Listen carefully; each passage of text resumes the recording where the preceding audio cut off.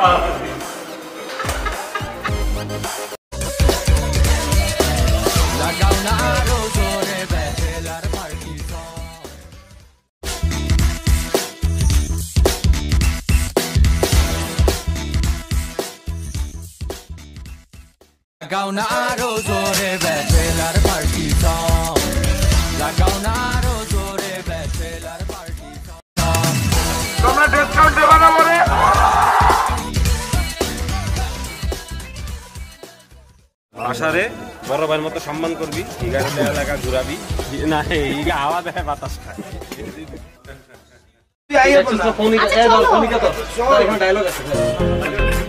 যার ঘরে যত কাপড় সাপড় আছে